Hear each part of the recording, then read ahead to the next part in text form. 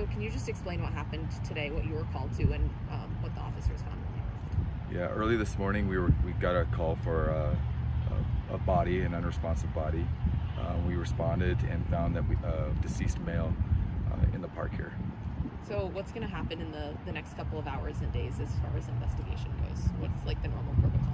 Yeah, so the death is considered suspicious. Um, we'll be uh, scouring uh, the area for evidence, any um, any evidence on scene, trying to identify the body, let the let the family know and uh, continue working to figure out what happened today.